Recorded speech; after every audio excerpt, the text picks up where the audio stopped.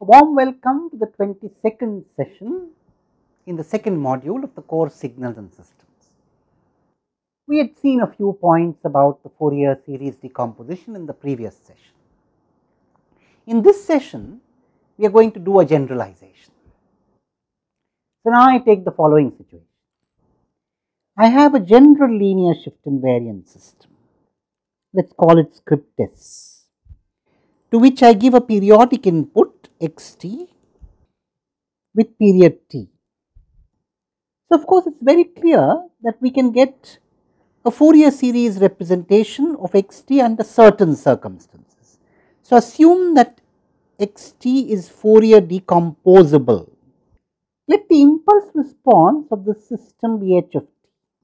We want to find the output now in general and we want to make certain observations about it. So, let us use the linearity of the system. Let us take any one of those components first, the kth component to be specific and give it to the linear shift invariant system S with impulse response h t. Well, the output is easy very easy to calculate. In fact, you can calculate it by the convolution integral. It's integral from minus to plus infinity.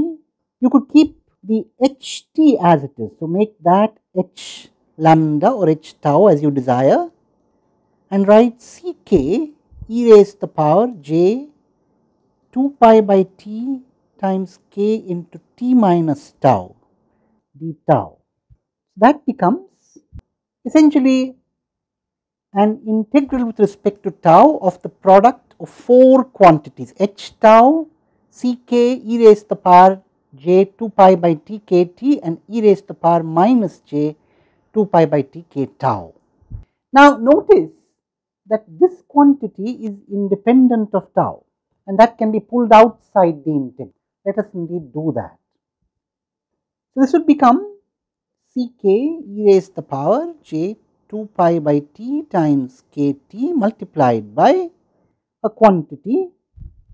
Essentially, this is a complex constant depending on k.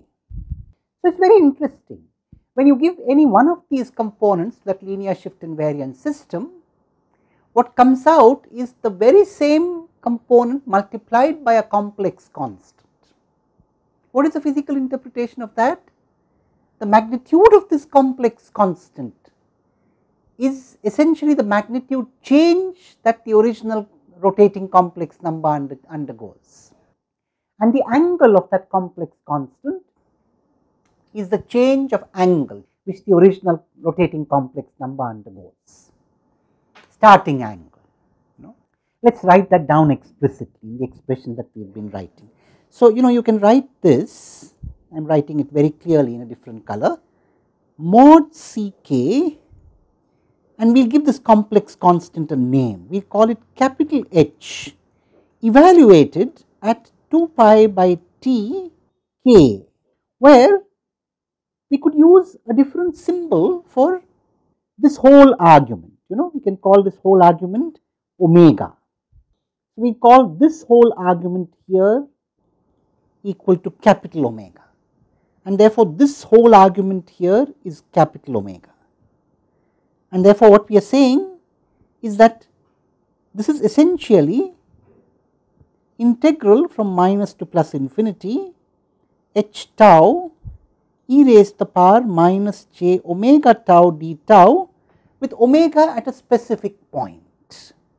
So, now coming back to this expression here, you have mod c k e raised to the power j angle of c k times e raised to the power j 2 pi by t times k t times modulus h 2 pi by t times k e raised to the power j angle the same thing. So, you notice that these angles add this angle and this angle, angles add and magnitudes multiply. There is a magnitude here and there is a magnitude here, magnitudes multiply. So, let us write that down all together. So, it is mod C k times mod h 2 pi by t times k. This is the composite magnitude into e raised the power j angle of C k plus angle of h evaluated at 2 pi by t times k. This is the composite angle multiplied by a complex rotating number e raised to the power j 2 pi by t times k t. This is the composite the overall output for the kth component. And of course, you can sum over all k, that is because the system is linear. So, if I give a linear combination of several inputs, the corresponding output is the same linear combination of the corresponding outputs for each individual one. So, now we have a general way to deal with these periodic inputs which are Fourier decomposable when you know the impulse response of the system. Let us write that expression down together just to be clear. We write it down. We have this system S, we have given x t equal to summation k going from minus to plus infinity c k e raised to the power j 2 pi by t times k t and what we get is in fact the Fourier series representation of the output and that is summation k going from minus to in plus infinity c k h evaluated at 2 pi by t times k multiplied by e raised to the power j 2 pi by t times k t where capital H evaluated at any omega is essentially the integral. Now, you know there is this quantity capital H with an argument coming in here. What is this quantity and can we use that quantity to go beyond only periodic functions? We need to reflect on that quantity first.